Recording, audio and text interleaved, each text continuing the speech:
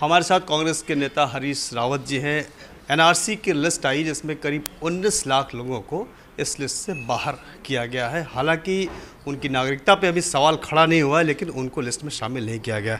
हरीश जी ये जो आ, लिस्ट में चीज़ें आई हैं इसको किस तरीके से आप देखते हैं? क्या जो 19 लाख लोग हैं उन पर उन नागरिकता खतरा बन गया है? हमारी स्पष्ट मान्यता है कि कोई भी जेन्यून इंडियन सिटीजन एनआरसी से बाहर नहीं रहना चाहिए। जो प्रोसेस है, उस प्रोसेस का, के अंदर उसका नाम इंक्लूड होना चाहिए। और ये कांग्रेस की लगातार कोशिशों का फल था कि फ़र्स्ट ड्राफ्ट लिस्ट में जो 40 लाख से ज़्यादा लोग जो है, जिनको भाजपा ने घुसपैठिया डिक्लेयर ही कर दिया था राष्ट्रीय स्तर पर, उनमें से 22 लाख लोग इंडियन नागरिक के रूप में एनआरसी में अपना स्थान पा पाए हैं।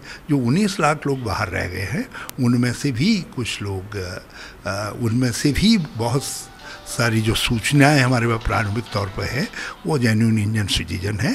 तो हमारा स्टैंड जो पहले से है कि कोई जेन्यून इंडियन सिटीजन जो है वो बाहर नहीं रहना चाहिए एनआरसी से और प्रत्येक जेन्यून इंडियन सिटीजन का राइट प्रोटेक्ट होना चाहिए। जो साठ दिन की मियाद दी गई है सर वो क्या ठीक है? आ, हाँ, हमने उस पर ज़रूर जो है 120 दिन की बात कही है और हमने आ, एक आ, आ, मेरी अपनी राय है अभी और कि ये सम, समय सीमा बढ़ाई जानी चाहिए। लेकिन फिर भी जो घुसपैठिए हैं आइडेंटिफाई होते हैं तो उन उस पर कांग्रेस का क्या रोक है? देखिए पहले एक चीज़ फाइनलाइज तो हो जाए और एक प्रोसेस अभी आधे में है तो इसलिए ये भाजपा है जो उस घुसपैठिए शब्द की का राजनीतिक फ़ायदा उठाना चाहती है और कांग्रेस है जो इंडियन जेन्यून इंडियन सिटीजन्स के राइट को प्रोटेक्ट करना चाहती है।